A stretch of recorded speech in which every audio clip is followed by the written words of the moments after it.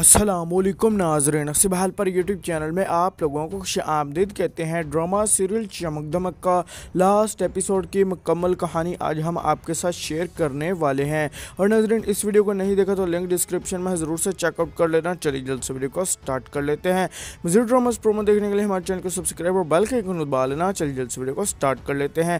تو ناظرین drama serial چمک دمک کے نیکسٹ آنے والے ایپیسوڈ میں آپ لوگ دیکھنے والے ہو کہ ناظرین ہمایوں کے ناک میں دم کر رکھا ہے سعد نے اور یہاں پر ناظرین فراز نے اور ناظرین یہاں پر جس کی وجہ سے ابھی وہ انسٹالمنٹس بھی نہیں دے رہے، اس گھر کی، ان کے پاس ہے ہی کچھ نہیں۔ اور ناظرین یہاں پر جس کے بعد یہاں پر ہمایوں کرے گا کارروائی، یہاں پر قانونی جس کے بعد ناظرین ان لوگوں کو اصل پتہ چلے گا۔ لیکن ناظرین یہاں پر جو فراز ہے، ناظرین وہ اپنے ہی نئی آئیڈیا لے کر بیٹھا ہوا ہے، کیونکہ ناظرین یہاں پر سعد نے اور اس نے یہاں پر بہت بہت ہی بڑا کوئی پلان بنایا ہے جو کہ ہم لوگوں کو نہیں پتا اور ناظرین، یہاں پر وہ یہی پروف کر کے چھوڑیں کہ یہ ہمارا گھر ہے اور جس کے ساتھ ساتھ ناظرین یہ بھی کہ ہم نے یہ گھر خرید لیا تھا اور اس کے ساتھ ساتھ یہ بھی بات کریں گے کہ یہاں پر رمین کی طلاق ابھی نہیں ہوئی۔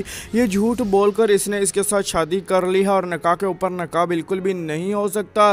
ایسا شوق کروایا جائے گا اور ناظرین، رمین کہے گی ایسا کچھ بھی نہیں ہے، لیکن ناظرین رامین کی بات کوئی مانے گا یا نہیں، قیمتی کا دھار کمنٹ سیکشن میں ضرور کر دینا اور ناظرین دوسری جانب آپ لوگ دیکھنے والے ہو اپ کمنگ ایپیسوڈز میں کہ ناظرین یہاں پر جو ہے اظہر ناظرین اس کی رپورٹیں رہ جائیں گی۔ یہاں پر جو کشان کی گاڑی میں جس کے بعد ناظرین جو وہ وہاں سے پڑے گا تو ناظرین جس کے بعد وہ حیران رہ جائے گا کہ یہ کیا کرنے والے ہیں۔ جس کے بعد ناظرین وہ آ کر ان سے پوچھے گا اور ناظرین یہاں پر اظہر بھی جائے گا اس کے پاس، جس کے بعد یہاں پر جب وہ پوچھے گا تو ناظرین یہ سب کچھ سچ سچ بتا دے گا۔ جس کے بعد ناظرین ناظرین، وہ کہے گا کہ آپ یہ کیا کر رہے ہیں؟ وہ اس قابل ہی نہیں ہے۔ جو ساتھ ہے، جس کی آپ اس کے ساتھ شادی کروانے والے ہیں، رابعہ کے ساتھ، وہ تو بہت ہی زیادہ قابل لڑکی ہیں۔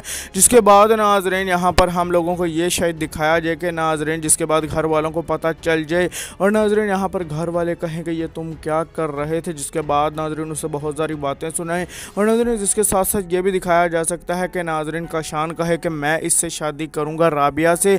تو ناظرین، آپ لوگوں کو لگتا ہے، ضرور سے بتائیے گا۔ اور ناظرین، دوسری جانب آپ لوگ دیکھنے والے ہو کہ ناظرین یہاں پر فراز کو ناظرین، یہاں پر سب کچھ پتہ چل جائے گا سچ سچ کہ یہاں پر ناظرین جو زوبیہ ہے، اس کی پہلے بھی دو شادیاں ہو چکی تھی اور ان کے ساتھ بھی اس کی بالکل بھی نہیں بنی، جس کے بعد ناظرین شاید یہاں پر یہ بھی کہے کہ میں تم سے تمہیں طلاق دے دوں گا اور ناظرین اسے بلیک میل کرے، اسے اپنی طرف ہی مائل رکھے اور یہاں پر ناظرین، یہاں پر جو زوبیہ ہے، ناظرین پہلے تو وہ بھی اس کی بلیک میل میں آتی رہے، لیکن ناظرین جب اسے سب کچھ پتہ چلے گا تو ناظرین وہ خود ہی فراز کو طلاق دے دے گی اور اسے پکڑوا بھی دے گی اور ناظرین، آپ لوگ آنے والے اپیسوڈ میں یہ بھی دیکھنے والے ہو کہ ناظرین، یہاں پر سب لوگ بہت ہی زیادہ پریشان ہیں ہمایوں اور رامین کی وجہ سے، کیونکہ ناظرین، یہاں پر باقی لوگ اتنا زیادہ اسے ایکسیپٹ نہیں کر رہے، لیکن ناظرین بعد میں نانی بھی آ کر یہاں پر اس کے ساتھ اچھے طرح سے باتیں کرے گی اور ناظرین، یہاں پر سب لوگ بہت ہی زیادہ خوش ہو جائیں گے۔ اور ناظرین، یہاں پر آپ لوگوں کو یہ بھی پتہ ہے کہ یہاں پر سب لوگ اب بہت ہی زیادہ ایکٹیو ہو چکے ہیں فرح کے کیس میں،